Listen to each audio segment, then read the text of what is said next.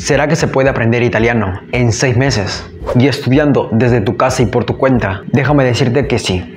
Yo lo hice y en este video te cuento cómo. Yo más o menos comencé a estudiar italiano en febrero del 2021. Ahora estamos en mayo del 2021. Ya pasó más de un año. Sin embargo, yo más o menos en agosto, en julio, ya podía hablar con nativos, podía ver series sin subtítulos, escuchar canciones en italiano y entender la gran mayoría. ¿Y cómo lo hice? Aplicando estas 10 claves que pude recopilar en todos esos meses. Número 1. Empezar a aprender vocabulario básico. Si no sabes nada del idioma, comienzas desde cero, entonces debes aprender lo básico. Cómo saludar, los números del 1 al 10, los verbos más usados.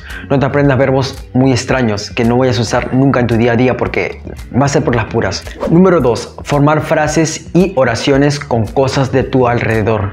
Por ejemplo, si todos los días tomas agua, porque creo que todos los seres humanos tomamos agua, entonces apréndete cómo se dice agua y vaso en ese idioma que estás aprendiendo. Yo hice esto, me aprendí cómo se decía agua en italiano, aqua, vaso se dice bicchiere, ¿ok? Y cada vez que iba a tomar agua, agarraba el vaso y decía bicchiere, agua. Ok, tomaba y listo. Igual, con las cosas de tu alrededor, incluso las, las partes de tu cuerpo, tus manos, tus brazos, etcétera. Aprende cómo se dice en el idioma que estás aprendiendo, valga la redundancia. Pero eso te ayuda mucho, ya que vas a convivir con eso. Cada vez que veas una parte de tu mano, trata de decirlo en ese idioma. Igual cuando vayas a tomar agua, trata de decirlo en ese idioma. Y trata de crear frases. ¿Tienes hambre? ¿Cómo se dice tengo hambre? Pero en el idioma que estoy aprendiendo. ¿Cómo se dice quiero comer en el idioma que estoy aprendiendo? ¿Cómo se dice me gusta jugar fútbol, por ejemplo, o me gusta tal cosa en ese idioma. Esto va a hacer que convivas con el idioma, te resulte familiar, porque vas a relacionarlo con cosas que te gustan y cosas que utilizas día a día, por cierto.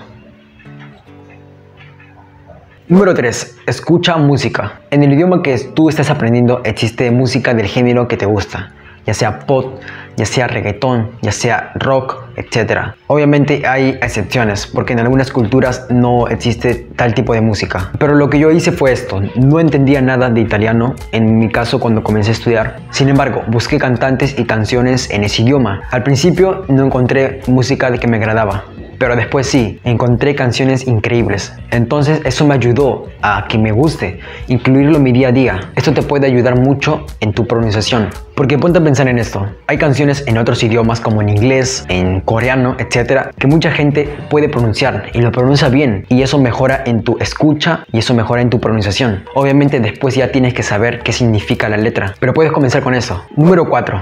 Viendo series y películas. Al principio veía series en español con subtítulos en italiano y también en inglés, pero después conforme fue avanzando el tiempo, ya quité los subtítulos en español y los cambié por subtítulos en ese idioma, en italiano y en inglés. Esto puede resultar muy complicado. Sin embargo, si ya tienes una base de aunque sea saber algunas palabras, si tú hablas español, es muy probable que si estés aprendiendo portugués e italiano y veas una película o escuches una conversación, puedas entender más del 10%. ¿Por qué? Porque tienen mucha similitud.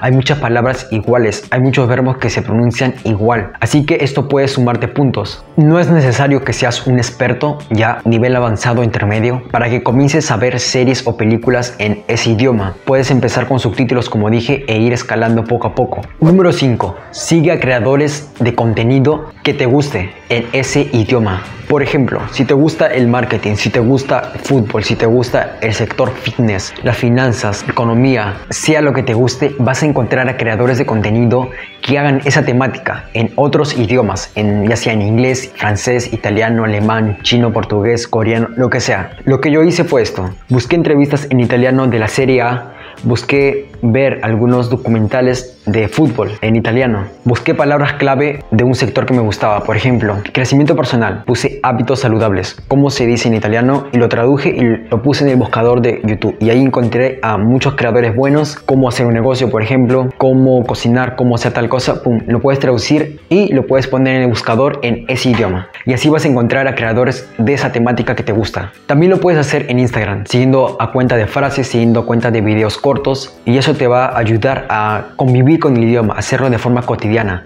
Vas a estar en tu Instagram, por ejemplo, bajando, bajando y te vas a encontrar contenido en ese idioma. Y minuciosamente vas a estar practicando, vas a estar conviviendo con el idioma, lo cual es muy importante que lo hagas todos los días. Número 6. Leyendo frases, artículos o libros en ese idioma. Como repetí, leyendo frases, siguiendo cuentas de creadores que te gusten en ese idioma. También pueden ser artículos de cosas que te gusten o en este caso como yo hice en el mes 5 más o menos cuando estaba estudiando italiano ya podía entender algunas palabras, ya podía hablar, ya tenía un vocabulario pobre pero sí me servía. Así que dije, me voy a comprar un libro en italiano y en inglés en Amazon. Entonces los compré, me llegó al mes siguiente, abrí el libro y dije, ok, leí un párrafo y entendía más o menos, pero después otro párrafo no entendía nada, otro párrafo entendía un poco y dije, ok, esto me va a tomar tiempo.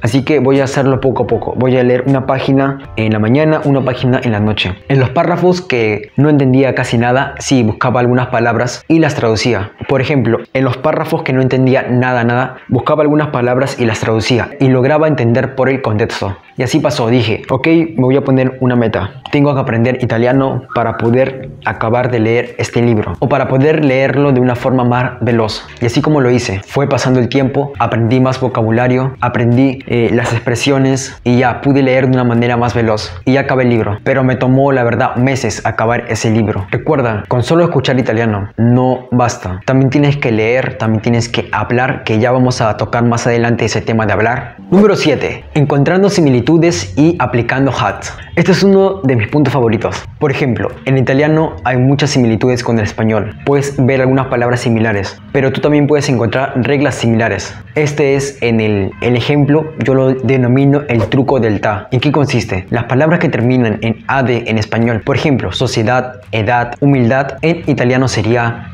società, età, humildad y es muy similar el sonido. La escritura también es un poco similar y la pronunciación es casi igual. Obviamente, como en todos los idiomas, siempre hay excepciones, pero por lo general esta regla se cumple así de los que terminan en AD, también en italiano terminan en TA. Número 8. Hablando con nativos. Yo recuerdo que comencé a hablar con nativos en el mes 5 y en el mes 6. Yo cuando comencé a hablar con nativos ya sabía un poco de vocabulario, ya sabía pronunciar algunas palabras, crear frases y entender. Sin embargo, no al 100%. Yo entré con un miedo, como tengo que salir de mi zona de confort, tengo miedo de quedarme bloqueado y no saber qué decir, pero no pasa nada. Me ha pasado, me bloqueaba, no sabía qué decir, era como que, eh, hola, eh, chao, ¿cómo iba? Y estaba nervioso. Pero eso se va superando poco a poco. Eso es para que vayas practicando. Eso es para que vayas perdiendo ese miedo. Por cierto, tengo un video publicado en mi canal que es uno de los videos más vistos de hablando con italianos en Omegle. Recuerdo que cuando subí ese video yo tenía más o menos 6 meses de que había comenzado a estudiar italiano desde cero. Pero en esos 6 meses o 7 meses creo que fueron, ya podía conversar de una mejor manera. Podía entender más palabras. Sin embargo, unos meses atrás, en el mes 5, yo subía videos a Instagram hablando con italianas, hablando con italianos. Sin embargo, no te recomiendo usar estas apps al 100%. ¿Por qué? Porque no son para aprender, es para interactuar. Es como que la gente solamente está interactuando, no sabe que tú estás aprendiendo un idioma. Por lo general, la gente espera encontrar a gente de su mismo idioma o gente que pueda tener una conversación más abierta de diferentes temas. Sin embargo, existen apps 100% para intercambiar idiomas, como Tandem, que es una app que yo recomiendo que use. Y ahí tú puedes intercambiar idiomas, como por ejemplo le enseñas tú español y esa persona te enseña su idioma. Ese inglés, italiano, francés, chino, están todos los idiomas. Incluso por niveles. Por ejemplo, si tú eres básico, vas a practicar con niveles básicos.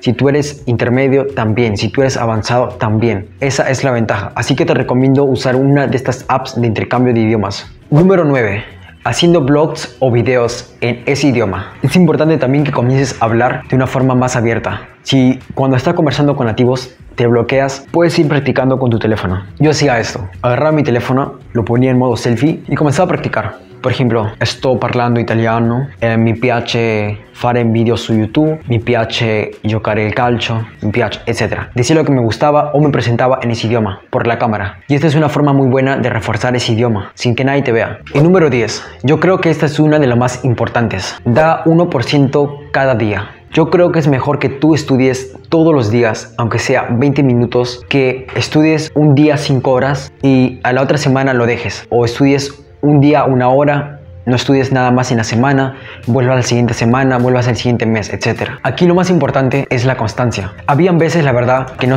no estudiaba una hora o una hora y media como me lo había propuesto. Estudiaba menos, media hora. Pero siempre intentaba de practicar. Siempre intentaba de, aunque sea, leer, ver videos en ese idioma, seguir a cuentas, como te dije, hacerlo de una forma cotidiana, que no se te haga tan pesado. Sin embargo, eso no significa que, ok, voy a relajarme y listo, voy a aprender el idioma automático. No, tienes que darle constancia. Quitarte todas esas excusas de no tengo tiempo. Si tienes tiempo, aunque sea 10 minutos al día, todos tenemos 10 minutos al día. Esas excusas de estoy cansado, de mejor después, después, esas son excusas. Trata de hacerlo todos los días o al menos una cantidad considerable a la semana. En mi canal tengo más videos sobre hablando en italiano, así que te recomiendo que vayas a ver esos videos. Hasta la próxima.